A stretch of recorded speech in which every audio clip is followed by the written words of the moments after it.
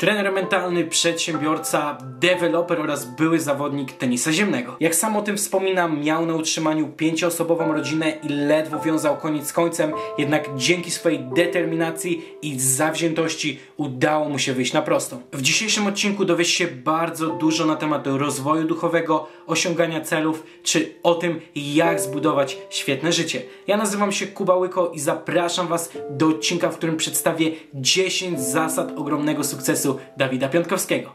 Miłego oglądania. Ludzie się boją, moi drodzy, wszystkiego. Boją się, żeby nie zgubili portfel. Boją się, żeby im firma nie wyszła.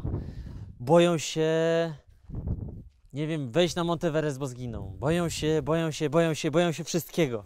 A nasze, nasi rodzice to już w ogóle bardzo często bywa tak, że boją się żyć, boją się, no boją się wszystkiego, po prostu masakra. I tak, tu jest strasznie, moi drodzy. Teraz hitem jest to, że możemy powiedzieć, że Boże, ale to strasznie, ale możemy zmienić interpretację i powiedzieć, że to jest zwykła skała.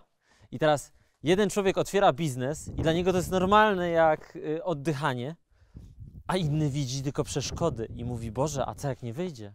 A co jak to? To tak samo, jakby się przejmować. Boże, a co jak wyjdzie? Także moi drodzy, ze strachem to jest tak, że jeżeli od młodu jest zasiewany w nas, no to nic dziwnego, że się boisz. No w ogóle się nie dziwię, jeżeli się boisz. No skoro od małego miałeś zasiewane, na wszystko uważaj, uważaj gorące, uważaj nie dotknij, uważaj nie przewróć się, uważaj, uważaj, uważaj, miliardy uważaj. No to w końcu możesz być pod prądem cały czas i się przejmować. Ludzie boją się i nie otwierają biznesu. Ludzie boją się i nie, nie potrafią podejść do kobiety, w której się podkochują, a to może być jedyna szansa, żeby, żeby to z tą osobą daną być. Ludzie boją się, żeby rzucić ohydną pracę, której nienawidzą i tego nie robią. I teraz, moi drodzy, yy, ja kiedyś też się bałem, inaczej, ja dzisiaj też się boję, ale kiedyś się bałem i powstrzymywało mnie to przed działaniem, a dzisiaj się boję i wiem, że jak się boję, to będzie fajnie. I teraz naprawdę jest, do tego stopnia to dochodzi, że ja świadomie przywołuję sytuacje, w których odczuwam strach, bo to jest dla mnie challenge. Jak czuję, że się zaczynam bać, to to jest. To wy, kiedyś wyzwalało to we mnie blokadę i się bałem, a dzisiaj wyzwala to we mnie takie poczucie challenge'u, że muszę, jakbym siebie sprawdzał. I teraz nieważne, czy stoję nad krawędzią wodospadu, czy tutaj wchodzę po tym stromym y, wejściu, nie ma to znaczenia. Jak widzę taki strach, to od razu mam ochotę go zdeptać. Zasada numer dwa: wychodź poza przeciętność. Przejęcie kontroli nad swoimi emocjami. To jest potęga. I teraz wiecie, ludzie chcą osiągać sukcesy finansowe, chcą wieść fenomenalne życie i tak dalej ale nie rozumieją, że żeby się zmienić, żeby osiągać te rzeczy, to właśnie trzeba się zmienić. Trzeba zmienić reakcję. Tam, gdzie się kiedyś baliśmy, trzeba nauczyć się być pewnym siebie. Tam, gdzie czułem żal, tam zaczynam wyciągać lekcje, zaczynam korzystać z logiki, a nie przejmowanie się nad rozlanym mlekiem. Trzeba całkowicie zmienić te reakcje w naszym umyśle. I to jest droga na skróty do wybitności. Przejęcie kontroli nad myślami, i emocjami. Te dwie rzeczy ogarniając, jesteście w stanie osiągać rzeczy nieprawdopodobne. I teraz wszystko fajnie, ale mamy tak zwaną wewnętrzną wojnę w naszym ciele między nawykami a tym, kim chcemy być, między ego a świadomością. I kochani, to jest taka jedna wielka przepychanka. Jedni z Was szybciej będą wygrywać te wojny wewnętrzne, innym zajmie to więcej czasu. To już jest zależne od karmy, czyli od tego, jak mocno was sponiewierało życie, ale pewne jest, że będziecie na początku przygody przebudzania się ponosić wiele bitew, wojen i, i od tego, czy będziecie wygrywać te pojedyncze nawyki, będzie się wam udawało zmieniać. Te pojedyncze reakcje, czy wam się będzie udawało zmieniać. Od tego zależy, czy zmienicie się, czy wzrośniecie od tych codziennych batalii. Dlatego, żeby się zmienić, żeby zacząć kontrolować te emocje, to musi się stać waszą obsesją. Wy musicie być trochę nienormalni. Bo jeżeli chcecie być normalni, to się nie zmieniajcie. Bądźcie jak wszyscy inni, czyli nieszczęśliwi. Ja nie chcę być normalny. Ja chcę być szczęśliwy, ja chcę kontrolować emocje, ja chcę osiągać wybitne rzeczy. Ja chcę, żeby moje życie było arcydziełem. Dlatego chcę być nienormalny. I ta nienormalność jest wymagana przy, przy tym, żeby przejść tą drogę do przebudzenia, takiego oświecenia, żeby to nasze życie w każdym aspekcie było fenomenalne. Zasada numer 3. Usuń blokady w umyśle. Jeżeli w kimś nie rozbudziła się mm, wola zdobywania wiedzy, wola słuchania, wola, wola samodoskonalenia, to to jest nie do przebrnięcia. Jak ktoś ma w sobie dumę i myśli, że wszystko wie najlepiej, no to, to już jest koniec, zablokowany ci ludzie są na rozwój, to już jest koniec jakby ich drogi. Dopóki się to nie rozpuści, dopóty z osobami mocno zblokowanymi nie zrobisz nic. E, Czyli ogromna część społeczeństwa niestety, ale e, fiołków i aniołków mieć nie będzie, dopóki coś się nie wydarzy w życiu zwrotnego. To może być śmierć bliskiej osoby, to może być wyrzucenie z pracy, to może być rozstanie z dziewczyną, to może być cokolwiek, jakiegoś boom, coś, co potrząśnie tym człowiekiem przypadkowego, no i dopiero gdzieś tam pomału człowiek zaczyna inaczej patrzeć na tą rzeczywistość. Czasami to może być osiągnięcie sukcesu. Coś, coś się musi zmienić. Nie? No i teraz widzisz, to jest to ta przypadkowość, że jak ludzie są nieświadomi, to oni liczą na to, że los im coś da, że będą mieli szczęście, że wygrają w totka, a my to wszystko możemy świadomie przywoływać do naszego życia, no ale to jest zarezerwowane dla ludzi, co się rozwijają.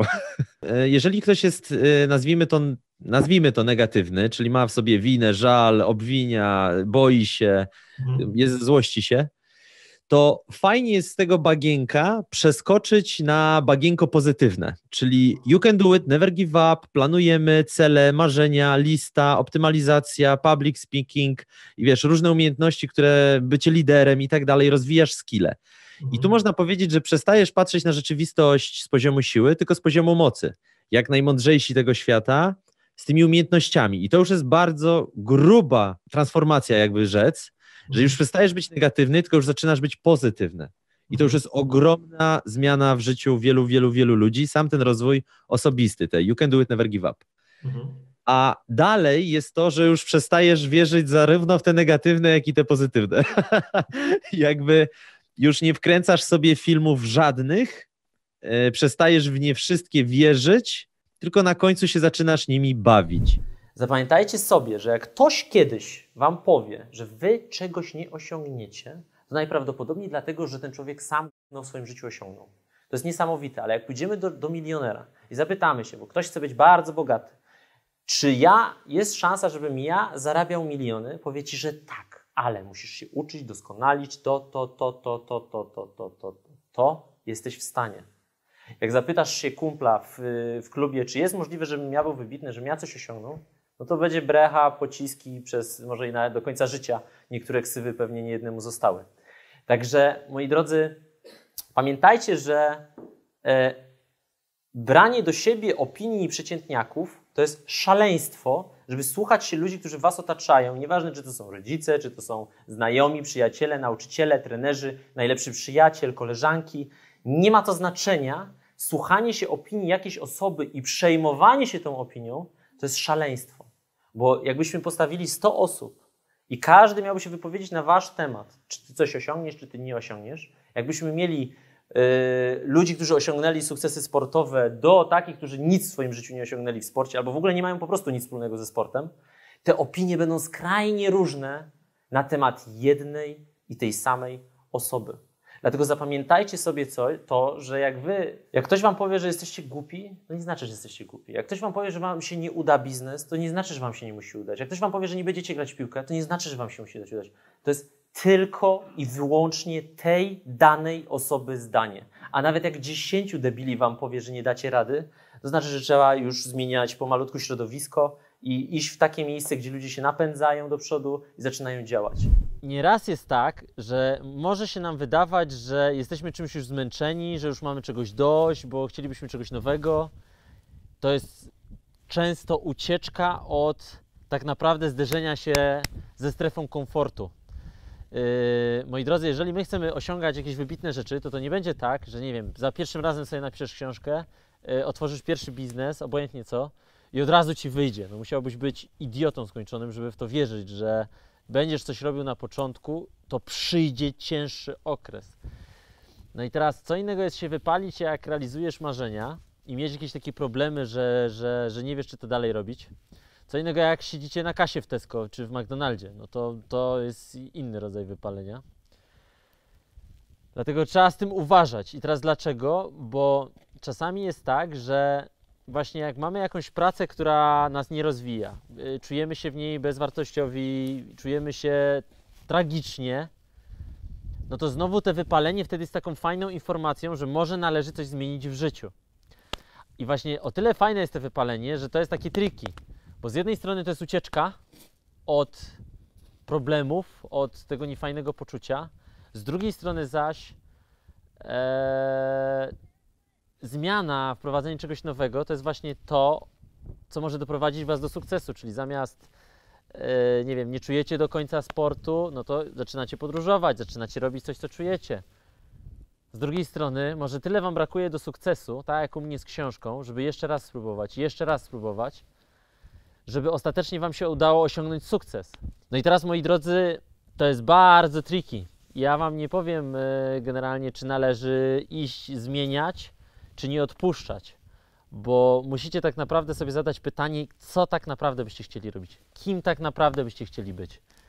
I nieraz warto jest sobie dać szansę i pocisnąć do końca. Czasem jest warto uciekać. Zasada numer 6. Nie podpinaj się do swoich myśli. Jak patrzę na tego człowieka, który na przykład mi tam tita i albo coś krzyczy do mnie, tak jak ja się łapię na tym, że dobra, on jest nieświadomy, dobra, miota nim ego, nawet o tym nie wie, tak samo jest z myślami, czyli jak cokolwiek mi się nie myśli, ja mam od razu do tego, aha, to jest ego? I podobnie jak do tego człowieka, ja rozumiem ten mechanizm, Mhm. rozumiem te myśli i przez to przestaję się w nie angażować, czyli odpuszczam im, tak samo jak odpuszczam człowiekowi, który jest zły, niedobry, krzyczy na mnie, jest nieświadomy, tak samo odpuszczam tym moim myślom nieświadomych i one są dla mnie na dzień dzisiejszy wszystkie, i teraz tu jest, tu, tu jest duże słowo, wszystkie myśli są dla mnie jak chmury na niebie. Ja ich, ja wiem, że one są, one pojawiają się, ale ich w ogóle nie słucham, nie podpinam się do nich, nie przejmuję się nimi, nie żyję nimi. Zostały wszystkie wrzucone do jednego worka i mam święty spokój z myślami.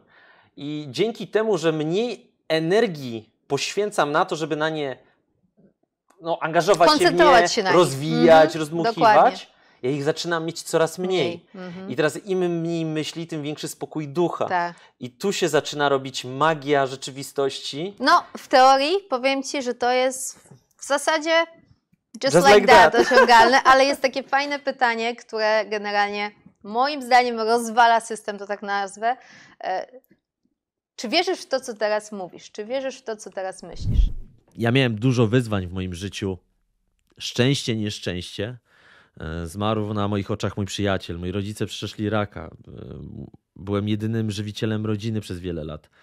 Masakra się działa generalnie. Bankructwa rodziców, raki rodziców, cheeses. Działo się. Ale z im trudniejszymi sytuacjami miałem do czynienia, tym potężniejszy się stawałem. Bo pokonując takie problemy właśnie jak to, że miałem pięć osób na utrzymaniu, jak to, że musiałem pokonać depresję, gdzie mój przyjaciel zmarł na moich oczach, przezwyciężając takie najtrudniejsze sytuacje, okazało się, że stałem się potężniejszy ponad miarę. I na dzień dzisiejszy nie ma takich błahych problemów, przez które bym się przejmował, złościł, irytował, smucił. To się nie zdarza. I nie wydarzyłoby się to, gdyby nie te trudne sytuacje. Także dla Was tu jest świetny tip. Im macie ciężej, im Wasze życie rzuca Wam większe kłody pod nogi, im mniej wsparcia macie od bliskich, to jest Wasz tre- worek treningowy. I paradoksalnie, te osoby, które mają cieplutko, one wcale nie stają się hardkorami. One rzadko kiedy osiągają wybitne rzeczy. Bo wybitność, taka prawdziwa, jest tam, gdzie były potężne przeciwności losu. I kochani, jeżeli na tym się skoncentrujecie, zrozumiecie, że te wasze ciężkie chwile, ten ciężki czas dla was, to jest właśnie wasza amunicja, to jest wasze paliwo rakietowe do tego, żeby stać się nową, lepszą wersją siebie. Osoby, które mają lekkie życie, nie mają tego zaszczytu, żeby przezwyciężać różne trudności. A to jest jedyna droga na skróty do wybitności. Ile razy nawet sami mieliście tak, że chcieliście, nie wiem, dobra, biorę się za siebie, cisnę, yy, zaczynam yy, na siłownię chodzić, zaczynam to, zaczynam tamto. Jest tak, fu, zaczynacie działać, robicie, robicie, robicie, robicie i nagle pewnego magicznego dnia jest łubudu i przez miesiąc, dwa, trzy, cztery, pół roku nic nie robicie. I teraz z czego to wynika? Jak nasza energia życiowa jest słabo naładowana i wy przez chwilę wejdziecie na trochę wyższą energetykę, że nagle mówicie, dobra, czuję ten power, zaczynam, i wy z tej połówki energii ciśniecie, no to w momencie to zaczyna spadać. Jak wy znowu schodzicie z tej energii, to wy nie jesteście w stanie działać. I teraz, jak ja zrozumiałem, jak potężną moc ma to, że my mamy w sobie energię życiową, to teraz wszystko, co mnie otacza, wszystko, na co patrzę, co jem, wszystko, wszystko, wszystko patrzę pod kątem energetycznym, żebym się czuł jak najlepiej. Bo jak ja się dobrze czuję, to mi się chce działać. To mi się chce rozwalić na treningu. To ja mam energię przez cały dzień. I teraz co ciekawsze, jak mamy bardzo wysoki poziom energetyczny naszych ciał, łatwiej o samokontrolę emocji. Ile razy jest tak, że pamiętacie dni, że mieliście super wigor, super energia i człowiek się wkurza wtedy? Nie pasuje to. A ile razy jest tak, że wstaniecie niewyspani, bo za mało spaliście, bo zmęczeni, bo to, bo tamto i mama tam z góry je, że tam z domu zawoda szkoły, dawaj śniadanie! I teraz normalnie słyszeliście, synku przyjść na śniadanie, a nagle z... Chociaż mówi to samo mamusia wasza, nie? I teraz tak, to działa, że zaczyna nas wszystko drażnić. Nie chce się nam. Zasada numer 9. Maluj rzeczywistość bez negatywności. Ja na dzień dzisiejszy przestałem wierzyć w jakiekolwiek interpretacje, bo skoro wszystko jest subiektywne, i ja, to jest tak jak na dzień dzisiejszy. Ja jestem, myślę, teraz fajnym przykładem, jeżeli chodzi o samoocenę albo ocenę innych ludzi na mój temat. Są ludzie, którzy na, jak mnie spotykają, to z uśmiechem, serdecznością, miłością przytulają mnie, dziękują mi za zmianę życia, za to, że jestem i obym żył jak najdłużej. Ale są ludzie w sieci, którzy mówią, że jestem tego przeciwieństwem. no i teraz, no to jaki w końcu jestem? Jestem taki, jak moja mama uważa, jak mój tata, jak moja siostra, czy jak moja żona, czy jak moja córka, czy jak tamten pan, czy jak tamten pan, czy jak tamten pan. Jaki ja w końcu jestem? No i teraz ci ludzie nie rozumieją tego, że to, co oni mówią, jest subiektywne. I najzabawniejsze w tym wszystkim jest to, że jak już to się serio zaczyna dobrze rozumieć, to każdy z nas maluje rzeczywistość w taki sposób, w zależności kim jest. Czyli jak masz w sobie szambiarkę, ci co mają domy jednorodzinne to wiedzą o co chodzi. To wszystko śmierdzi. To generalnie jak się już coś wydobywa i tak. wytryskuje z tego szamba, no to to ludzie mają w sobie. Czyli wszyscy ludzie, którzy wyrzucają jad na innych, nie opisują rzeczywistości jaka ona jest, czy nie opisują ludzi jacy oni są, tylko opowiadają o sobie. To jest jedna z najtrudniejszych rzeczy do zrozumienia, bo jak ktoś to skuma, to uważa, co mówi, jak mówi, z jakim tonem, z jaką emocją, bo opowiada o sobie, a nie o rzeczywistości, jaka jest. I to był dla mnie też ogromny game changer, że ja tak. mogę każdą sytuację zinterpretować przez dzięki mapie poziomu świadomości na tak naprawdę nieskończoną ilość yy, sposobów. To jest niebywałe. Drugi człowiek nie musi do końca czuć to, co wy czujecie. I teraz yy, przykładem u mnie jest takim to, że Dawid, pomóż, potrzebuję kasę, to, to, to. Ludzi, którzy wiszą mi pieniądze, to jest po prostu makabra. I kiedyś miałem do nich ciśnienie, że no, taki i taki mógłby mi w końcu te siano oddać. Minęło, nie wiem, 5 lat, 6 lat, no mógłby w końcu to zrobić. Ale ja wiem, że ja może nie tyle nie zbiednieję, co mam lekcję, że Dawid, chcesz liczyć, to licz na siebie. Chciałeś pomóc, to pomóż, ale nie oczekuj nic w zamian nigdy. I teraz, jak się nie oczekuje nic w zamian, to jest taka magia, że jakbyście oczekiwali coś w zamian, to nie zrobicie tego szczerze, nie zrobicie tego tak dobrze, nie zrobicie tego autentycznie. Jak będziecie pomagać bezinteresownie, to to widać, kiedy ktoś naprawdę jest w stanie Wam pomagać w sposób niesamowity. I teraz takie osoby, które pomagają bezinteresownie, one w sytuacjach kryzysowych, które same będą potrzebowały wsparcia, otrzymają go najwięcej, bo tacy ludzie są złotem. I ludzie, których ja w swoim życiu spotkałem, i one się koncentrowały na finansach, one się koncentrowały na pieniądzach, one się koncentrowały na celach. Ja się z nimi nie czuję. To jest niefajne. To, czuć w powietrzu, kto co sobą reprezentuje. I teraz zawsze pomagajcie bezinteresownie. Ja Wam gwarantuję, że nie znacie dnia ani godziny, kiedy to do Was wróci. Jest tutaj jeszcze jedna pod to zasada, że nigdy też nie pomagajcie, jak ktoś tej pomocy nie chce. A teraz zapraszam Cię do dodatku, gdzie Dawid powie, jak żyć na własnych zasadach i wychodzić poza schemat. Ja nie zdawałem sobie w ogóle z tego sprawy, jakie życie może być fenomenalne. Czyli to jest jakby. Ja nie wiedziałem, że można spędzać czas w sposób no po prostu taki, że zapiera dech w piersiach, jest ekscytująco, jest ekstremalnie, jest po prostu niesamowicie. Ja sobie z tego nie zdawałem sprawy. E, nie wiedziałem o tym. I tak jak większość osób, chodziłem na imprezy co weekend, jakieś totalnie, totalne bzdury robiłem, jak nie wiem, potrafiłem trzy razy w tygodniu auto myć. Wymyślałem sobie takie jakieś zadania bojowe, że jak dzisiaj o tym pomyślę, jak marnotrawiłem ten czas, no to łezka się gdzieś tam kraja, w, gdzieś tam chce mi spływać po, po, po, po, po moich policzkach. I to, co ja bym chciał Wam młodym powiedzieć, to to, że życie naprawdę ma nieograniczone możliwości i gdy zaczynamy wzrastać, gdy zaczynamy się uczyć, gdy zaczynamy świadomie obserwować świat, wtedy zaczyna się wszystko zmieniać. Bo kiedyś się patrzyłem na świat i w ogóle nie zdawałem sobie z tego sprawy, że e, ja też tak mogę. Czyli na przykład taki film Jaya Alvareza zainspirował mnie do tego, że sam zacząłem tworzyć takie materiały jak Jay Alvarez. I to jest tak ekscytujące, to jest tak fajne, że, że nie wiem, kiedy ja przestanę. Wierzę, że każdą jedną pasję, jaka istnieje na planecie Ziemia, będę chciał jej doświadczyć, będę chciał próbować, bo to jest po prostu wspaniałe. Dlatego zachęcam Was do tego, że jak oglądacie jakieś filmy, jak oglądacie coś inspirującego w internecie, żebyście patrzyli na to w sposób taki, że po pierwsze, jak oni to ogarnęli, że w ogóle takie rzeczy robią. Druga rzecz, musicie wiedzieć, że Wy też tak możecie.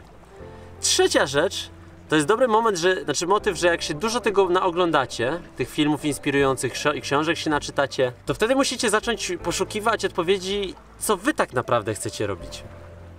I teraz jak mamy dużo wiedzy, czyli naczytamy się, naoglądamy się różnych filmów i bardzo świadomym okiem będziecie to obserwować, wtedy jesteście w stanie wyciągnąć bardzo, bardzo, bardzo dużo e, wartościowej wiedzy, którą potem będziecie mogli praktykować. Ta świadomość, że każdy odgrywa jakąś rolę, ludzie są strasznie ograniczeni w tych rolach. I teraz yy, kobiecie, która, no nie wiem, całe życie wykłada fizykę, może się wydawać całkowicie nierealne, może nie musi, ale głównie jest tak, że się nie mieści ludziom w głowie, żeby podróżować po całym świecie i łączyć podróżowanie na przykład z zarabianiem siana.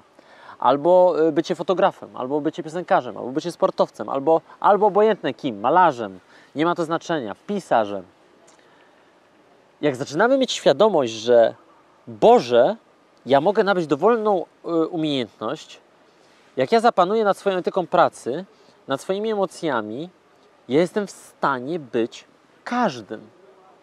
I teraz zobaczcie, jak się zmienia postać gry. Tutaj za mną jest teatr, i teraz ja się czuję tak, jakby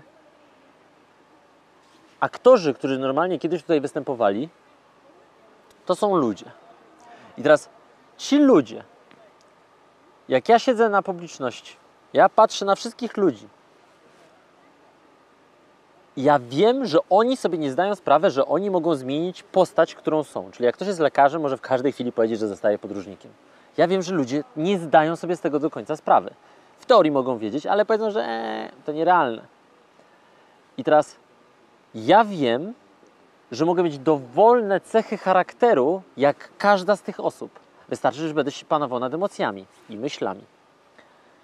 Ja wiem, że ja mogę zmieniać scenariusz tego, co jest wykładane w takim, teatrze, w takim amfiteatrze. Ja wiem, że ja mogę zmienić scenariusz. Ja nie jestem zależny od jakiegoś z góry nałożonego scenariusza.